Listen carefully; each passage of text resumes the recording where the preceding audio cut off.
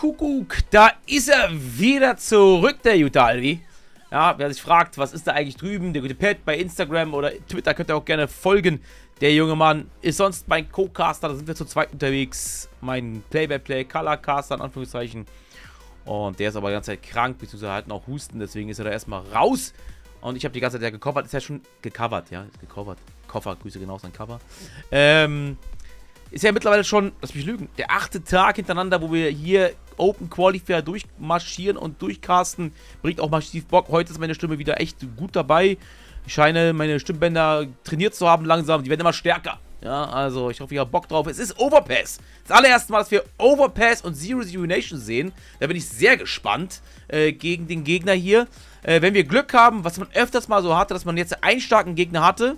In dem Fall war es ja Cybershock relativ stark. Äh, und jetzt vielleicht mit Blue Lock, was ein Mixteam ist, was auf jeden Fall, wer sich mit Animes auskennt, ähm... Oh, Peter. Uiuiui. Da hat meine Frau direkt zugeschlagen.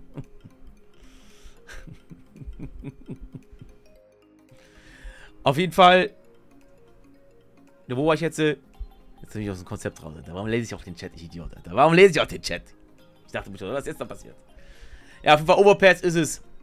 Da bin ich sehr gespannt. Genau. Man hat manchmal dann nochmal anstatt einen schweren Gegner wieder einen leichteren. Deswegen, ich bin sehr gespannt, natürlich, was Blue Lock zeigen kann. Wer sich mit Animes auskennt, natürlich, der Name verrät natürlich brutale, äh, crazy Fußball-Action, wenn der ein oder andere Anime-Fan und solch ist. Aber ich würde sagen, wir gehen einfach auf den Server jetzt schon mal rein und rauf, denn die Jungs sind eigentlich schon komplett. Sie sind komplett.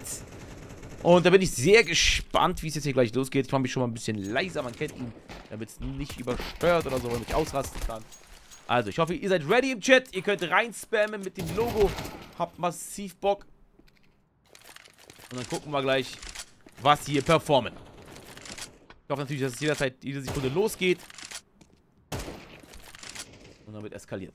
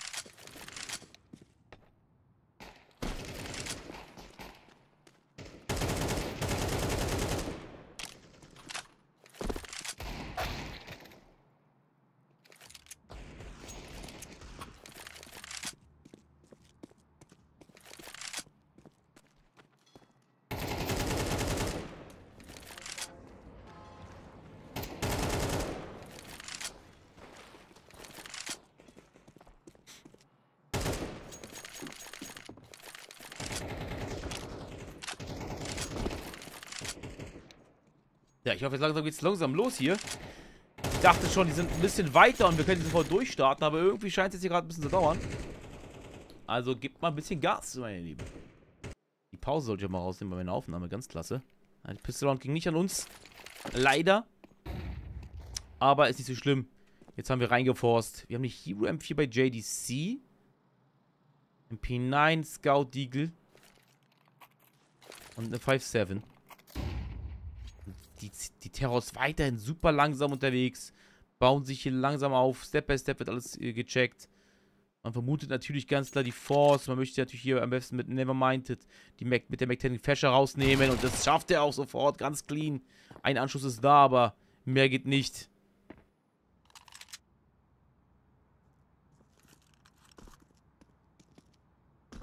Bamble sieht so aus, als wenn man nur die beiden Finalisten hier, äh, sag ich mal, ins Close kommt. Beziehungsweise äh, nicht die Finalisten, sondern aber die, die dann in, äh, in, ins Halbfinale spielen. Oder ich weiß nicht genau, wie es abläuft. Ja, doch, muss ja so sein. Die beiden Finalisten ist ja dann Top 8, Top 4. Ich weiß ja auch mal. Du hast recht. So, jetzt geht's rauf hier. Über lang. Vladanchi close. Vladan kann nichts machen. Todesblind die ganze Zeit. Anschussversuch nochmal. Blockt man sich gegenseitig so ein bisschen. Jetzt ist JDC da. Wichtige Fracks von John. Wo lebt er noch? JDC verbrennt leider. Trotzdem, Syuso und Bird vom Sky probiert nochmal was zu hasseln. Syuso mit dem Shot. Nochmal ein Anschluss ins Bein. Syuso mit dem nächsten Frag. Oh mein Gott, die Kombination. Der Schaden wird gemacht. Noch ein Anschluss von Syuso. Syuso versucht das USP. Man kann Fracks vielleicht ziehen. Jetzt ist die Zeit vorbei. Ganz starke Runde. Und Bird sucht hier noch den letzten Mann. Findet ihr nicht, aber das ist 1-1. Was für eine starke Hold hier von Bird, JDC und Syuson. Die Knieschüsse von Bird waren immer super clean. Damit konnte Syuson dann einfach mal die Shots machen. Und die Frags ziehen stark. Ganz stark hier in dem Moment. Wir kaufen wieder rein. Der Gegner schlechtere Waffen. Wichtig jetzt hier natürlich für uns. So wieder zurück ins Spiel zu kommen. Nach dieser doch wahrscheinlich aus ihrer Sicht nicht so geilen Pistol Round, wie man sie sonst kennt.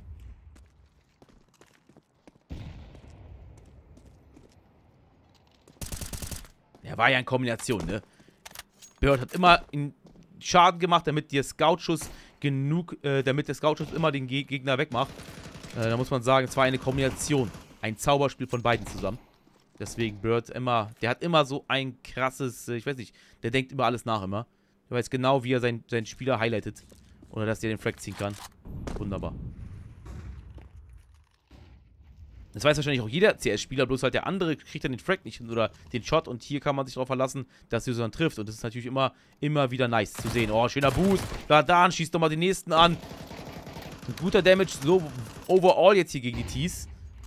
Man weiß aber, es ist nur eine jetzt hier vom B-Spot, also ist nicht wirklich viel los, aber trotzdem Rotation von Zero Zero Nation Richtung B. Und der offensive Play jetzt hier vom Fasher. Der jetzt natürlich vielleicht was machen kann. Ähm, da gibt es die Flash rein. Fasher versteckt sich noch. Sieht den ersten, wird aber einfach komplett hops genommen. Jetzt ist Susan alleine. Jetzt gibt es nochmal eine Granate rein. Rocky holt sich auch noch Bird. Und Susan holt sich den ersten. Susan, sind alle ganz low. Susan versucht es.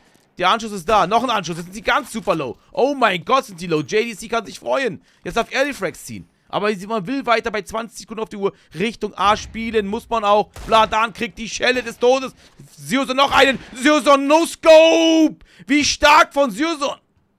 JDC ist gleich da. 8 Sekunden auf die Uhr. Er muss planten. Syrson verschießt. Aber er weiß halt nicht genau, hat den getroffen oder nicht. Wie viel Damage wurde gemacht. Syrson peakt. Da kriegt er die Schelle rein.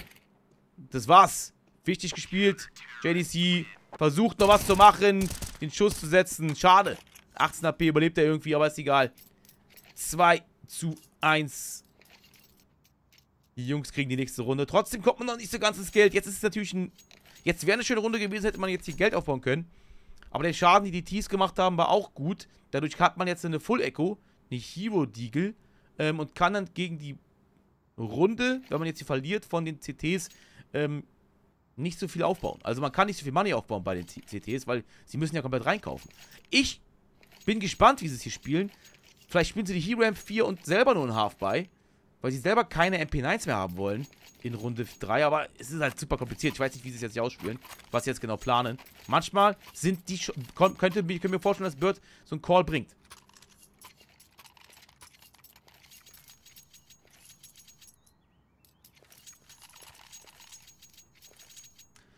Äh, herum. Ja, genau. Für Seeding ist, ist kein Problem. Das machen die nochmal. Aber ja, erstmal dann halt in die Finals kommen. Also müssen wir komplett durchhasseln. Wir sind jetzt in den Bra äh, Round of 32 mit Round of 16, also Top 16, kommen wir dann auch auf HLTV und dann können wir Gas geben. Aber dann sind es immer noch äh, mindestens zwei Spiele. Weil das Best of 3 ist ja dann erst richtig weit vorne. Also es dauert ultra lange noch.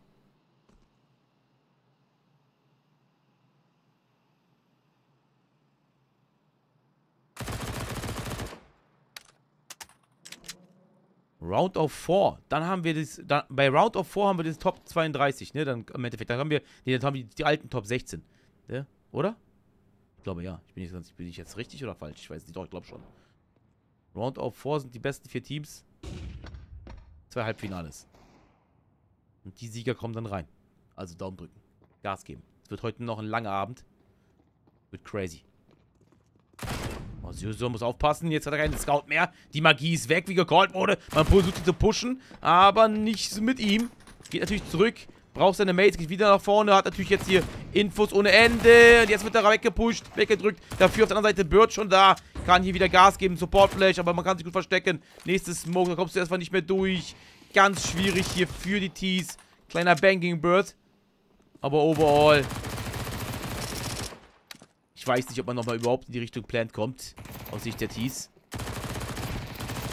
Oh, da muss man aufpassen. Wenn man jetzt hier natürlich noch alles verliert, wäre natürlich ganz kritisch. Der letzte Spieler fällt dann auch. Fasher regelt 3-1.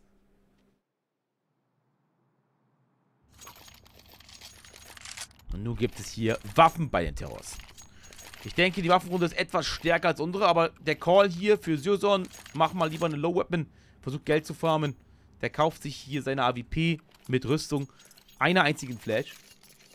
Und jetzt kann er mit seinem langen Rohr hier die Haubitze sein für sein Team. Also, bin sehr gespannt, wie er jetzt hier wegschießt. Offensiver Play.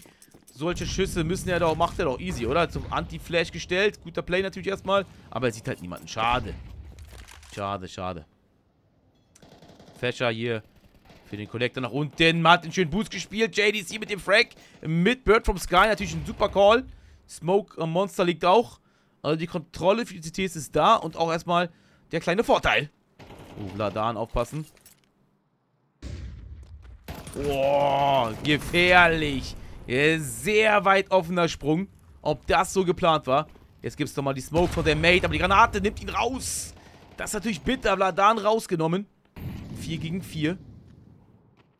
Und die Tees rotieren zurück. Die Bombe anscheinend auch schon. Was macht Syusun? Der, der arbeitet sich hier langsam vor. Der geht hier weiter nach vorne und könnte jetzt hier gleich die Connector abdecken. So sieht's aus. Er braucht aber noch einen zweiten Mann. Jetzt wird's kritisch, jetzt schwierig, wenn er jetzt falsch erwischt wird. Einfach so auf Kante, auf Stütz erzielen, das ist nicht so eine Sache. Aber er hat eine bittere Position. Er braucht jetzt auf jeden Fall einen Mate. Fescher, komm bitte Syusun helfen, weil die Position für ihn ist halt komplett eklig. Äh, wenn einer von, genau, von lang kommt, hat er ein Problem. Deswegen glaube ich jetzt auch hier bei 30 Sekunden geht er lang checken und dann geht er auf den A-Spot und versucht halt wegzudrücken. Ja. Ah, da geht nochmal. Okay, jetzt weiß er, da kommt keiner. Also geht er hier nochmal. Der so frech. So stark gemacht. Susan. Oh, das Timing. 4 gegen 3. Vorteil für die Tees. Jetzt kommt man auf den Spot langsam rauf. Will man planten. Natürlich, die Mollo kommt. Flasher wird aufgehalten. Noch eine Flash. Er hat den Spieler gesehen. Aber ich glaube, die haben ihn nicht gesehen. Schöner Frag von ihm. Fäscher mit dem Double. Und das in so einer Situation. Ganz bitter für die Tees. JDC ist da. Fäscher. Granate gegen den Terrorspieler. Die geht natürlich gut rein. Ja, okay, doch nicht. Ja, nur ein HP, aber egal. Jetzt weiß man nicht, wo die anderen Spieler sind. Von hinten muss jetzt Bird kommen. Der muss auch Gas geben. So ein bisschen über die Fuse gesagt, man dreimal an der Zahl. Bird jetzt das Timing. Schießt jetzt nach hinten. Lenkt auf jeden Fall ab. Aber trotzdem ist es JDC mit einem Low HP. Er muss natürlich jetzt zu seinem Mate kommen. JDC regelt. Jetzt wird Shell diffused. Das sollte passen. Es sollte passen. 4 zu 1 für Zero Zero Nation.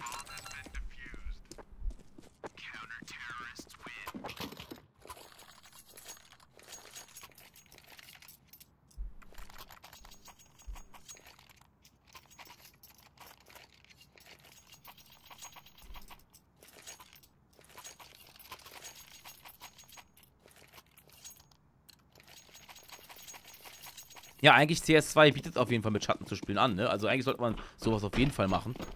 Da hat man auf jeden Fall viel mehr Möglichkeiten. Vielleicht spielen sie es auch, aber jetzt einfach nicht gesehen. Ich habe keine Ahnung. So, trotzdem, dank dem Plan kauft man nochmal. Loser-Bonus ist ja jetzt da bei den Tees. Ladan plus Bird sprayen durch Monster und treffen hier auf jeden Fall auf einen Terrorspieler, den sie rausnehmen. Die Granaten kommen geflogen, treffen aber diesmal niemanden. Ladan überlebt, Bird kriegt nur 5% Schaden. Also alles cool. Und nichts mehr passiert. Es geht wieder Richtung Spielplatz, Richtung Brunnen, Richtung Ballons. Die Tees sind unterwegs. Suchen natürlich jetzt händeringend irgendeinen CT-Spieler, den sie wieder rausnehmen können. Ich glaube, diesmal wird sich so nicht wiederholen lassen. Diesmal geht er wieder auf Langpiken, findet niemanden. Mal gucken, ob er es genauso auch ausspielt oder lieber passiv jetzt hier steht. Er spielt Aber ist ja auch richtig so, man soll sich nicht beeinflussen. Jetzt hat der Step gehört, einen Jump, jetzt spielt das genau gleich auf Kante. Und jetzt muss er den Frag ziehen. Den ersten hat er, wichtig. Jetzt der Repeak. Den Shot hat er auch da. Verschießt jetzt. Jetzt ist natürlich Fäscher da. Und da ist es. Was für eine Zerstörung. Die Tees, gar keine Chance. Auf einmal kommt von unten einfach Fäscher. Der kann reindrücken. Voller Fokus auf Syrson. Sauber genutzt. In Szene gesetzt. Beide Spieler. Schön gemacht. Führung weiter ausgebaut. Kein Plant. Und wir sehen es. Geht in die Pistol Force. Für die Terrors. Wahrscheinlich damit ein schnelles. Schneller B-Go. Was meint ihr? Schneller B oder A-Go?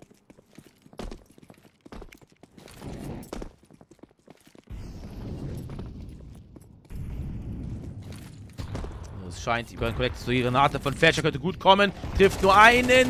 Die Pistol macht gar keinen Schaden. Und Fletcher einfach auch solide gerade wieder. Haut gut rein, kriegt selber aber ganz schön viel Schaden am Ende. Zieht sich jetzt zurück.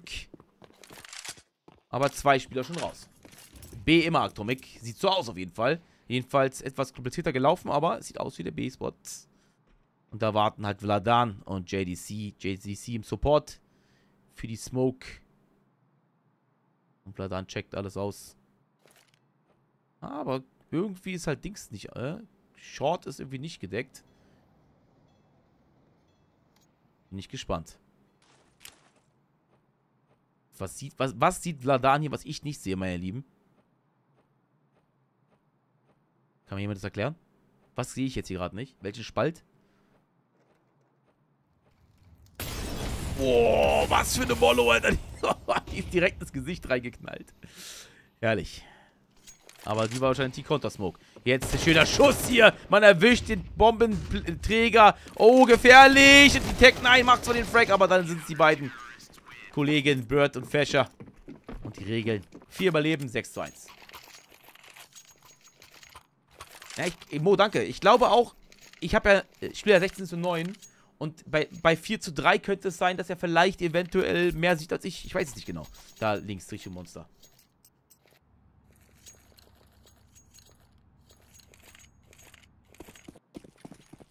Vladan Barbecue.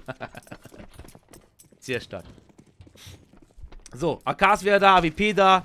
Die Terrors sind wieder on fire. Sie sind wieder on fire, aber Syrson auch. Duell gegen Roxy. Äh, das nimmt er erstmal mit und holt damit den ersten Break. Und jetzt geht Syrson ganz anders, ganz anderen Weg. Das ist halt Rische. Plötzlich wird jetzt hier aggressiv gespielt. Fescher deckte diese Stelle ab. Aber das ist er halt. Es ist einfach so krass, wie aggressiv dieser Mann spielt. Bladan holt sich einen auch. Und Syrson mit dem nächsten Frag. Wir wechseln gerade auf den falschen Spieler. Aber genau das bringt es, diesen Impact. Sion spielt gefährlich mit seinen Gegnern. Es ist einfach immer wieder schön, diese AWP zuzuschauen.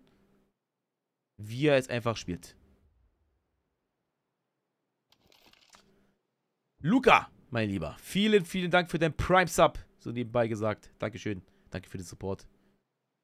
Liebe geht raus. Vielen Dank.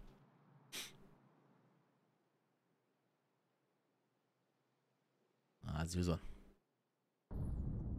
Ah, den Step gehört. Jetzt hat er ihn gehört. Ah, dann da verschießt die AWP gegen äh, Fäscher zum Glück. Der kann sich wieder zurückziehen. Jeder Spieler ist wichtig. Ne? Wir haben immer noch nach dieser Runde noch vier Runden zu spielen. Sind ja Runde 8.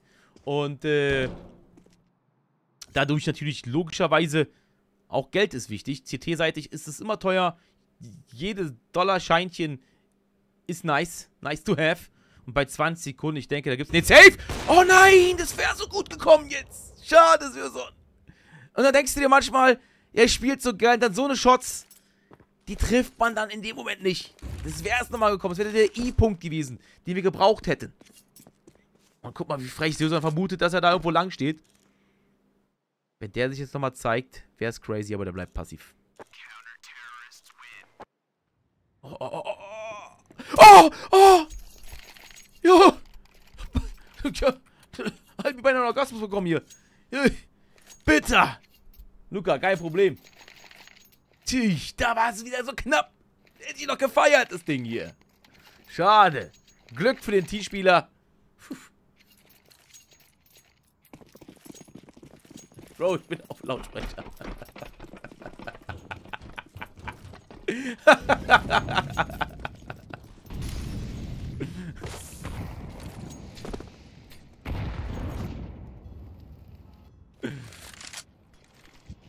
du, hörst du auf Lautsprecher. Herrlich. I love you, man.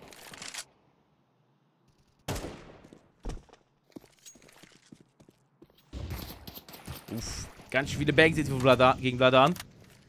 Man hat nochmal reingeforst. Galils dabei.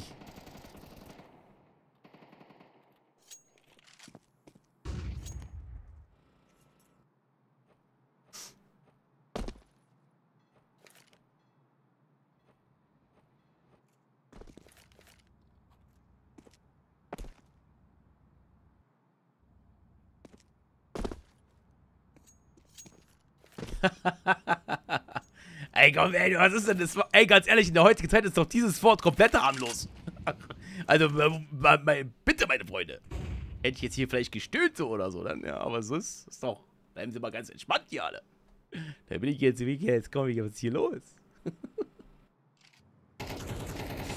Ach ja, zurück zum Gas, wieder Ernsthaftigkeit natürlich anlegen. Fasher holt sich einen.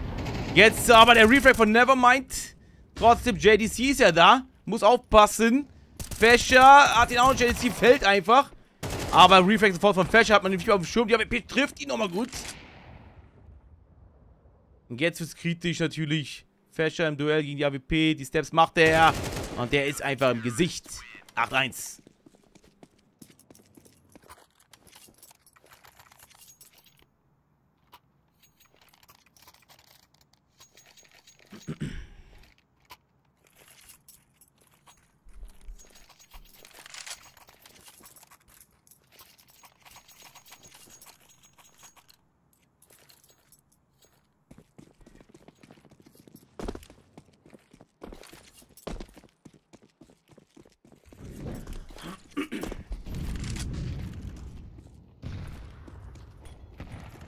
Pistols schon wieder am Anschlag. Die Terrors, die versuchen natürlich Gas zu geben. Eine Granate, schön. Fäscher ist da. Natürlich überrennen sie ihn jetzt. Oh, jetzt wird's gefährlich. Sie sollen nochmal gut Schaden bekommen. Zieht sich zurück. Duell hier von Vladan. Der drückt hier auch nochmal ins Gesicht. So mit zwei eingeschlagene Spieler auf jeden Fall auf Seiten der Tees. Die sich jetzt in der Rotation bewegen. Richtung B-Spot. Aber Vladan sieht ihn hier im Winkel und nimmt ihn raus.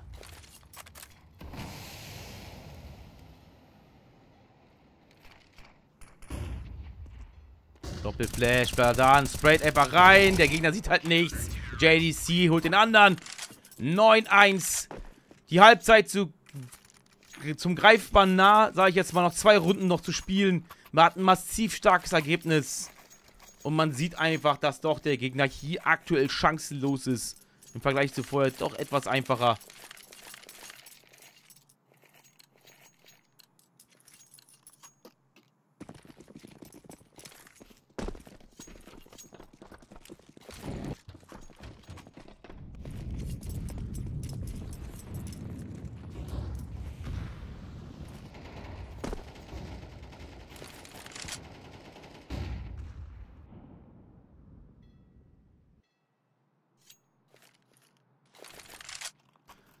Ab geht's. Man kommt über Monster. Vladan, keine Chance. Es könnte die Runde sein. Die zweite für die Tees. Auto der DC kann jetzt gut performen.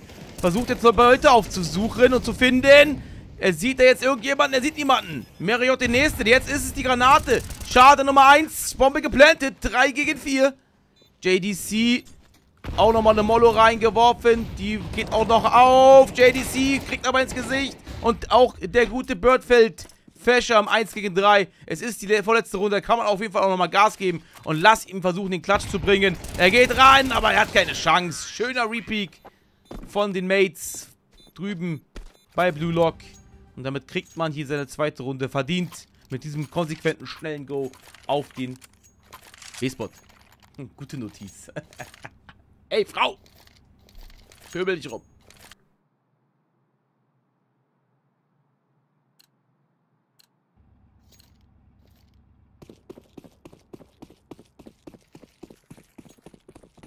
Letzte Runde der ersten Halbzeit.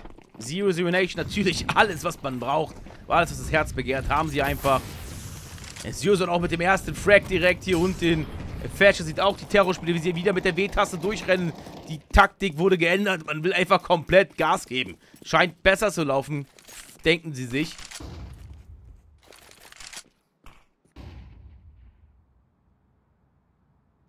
Aber nun gut. Oh, Fasher, jetzt komm. Nochmal so ein Jump Peak.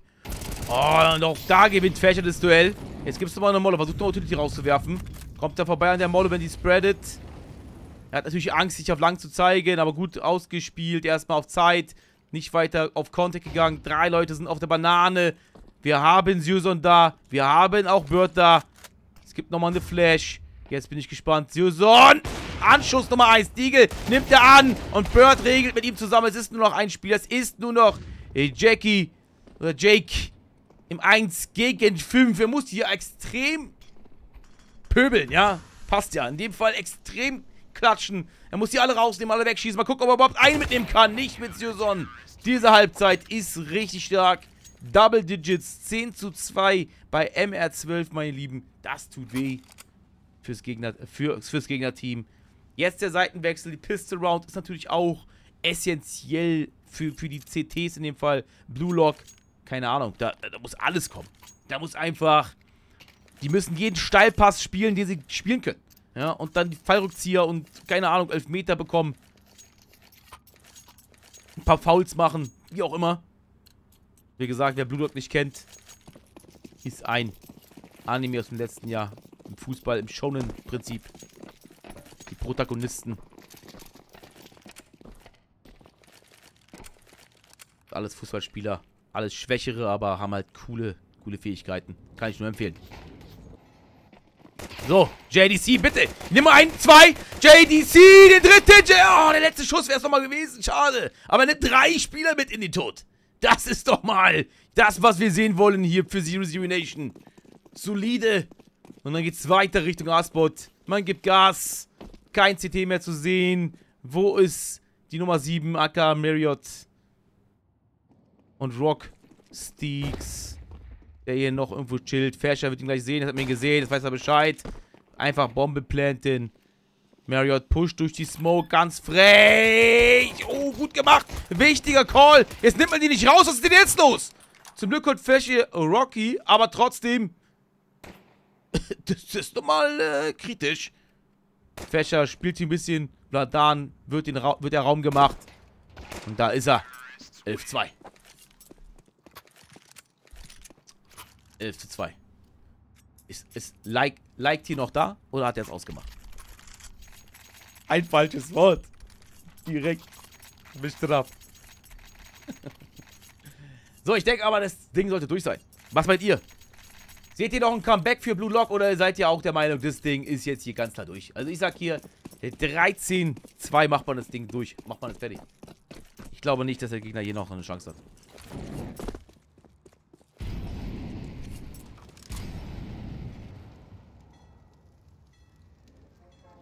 Da ist auch nichts gejinxt oder so. Das Ding ist einfach so. Man ist einfach so, so krass dominant. 13, 13, was? Atomic. Will nicht dingsen. Nein, das ist einfach zu abergläubig. Ja, okay, jetzt wird überrannt hier. Aber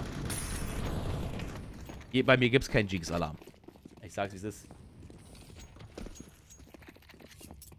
Warten wir den Fullback ab in der nächsten Runde. Ja, das stimmt schon. Aber ich tr trust, trust the signs von Zero Zero Nation. So sieht's aus. Ja. Zero Zero kann jetzt mal Punkte machen hier gegen ein paar Spieler. Eins.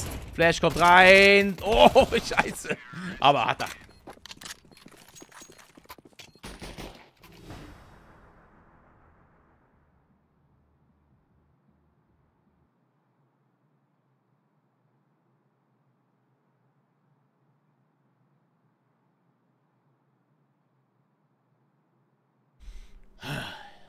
Ich glaube, es ist vorbei, meine Lieben. Ich glaube, es ist vorbei. Man hat kein AWP, man hat kein Diffuse-Kit. Ist auf jeden schon mal ein Nachteil. Utility ist eigentlich schon solide, kann man mitarbeiten.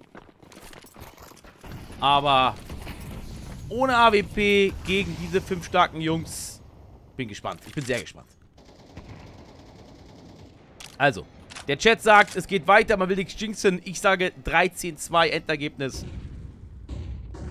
Ich muss auch irgendwann mal recht haben. Ich habe sonst immer Unrecht, aber irgendwo muss ich recht haben.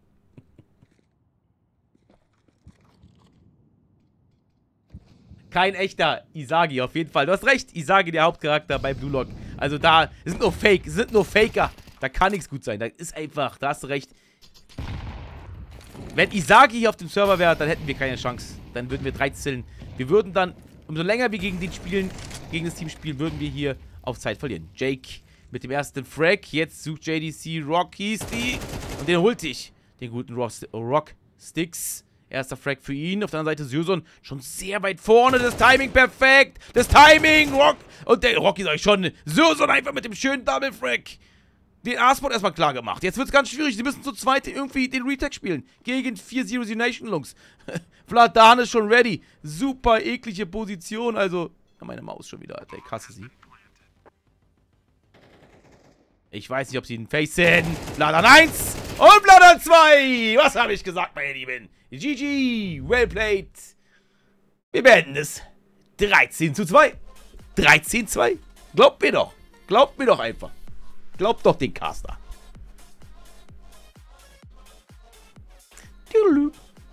So, wenn die Maus einfach nicht mehr mitmacht.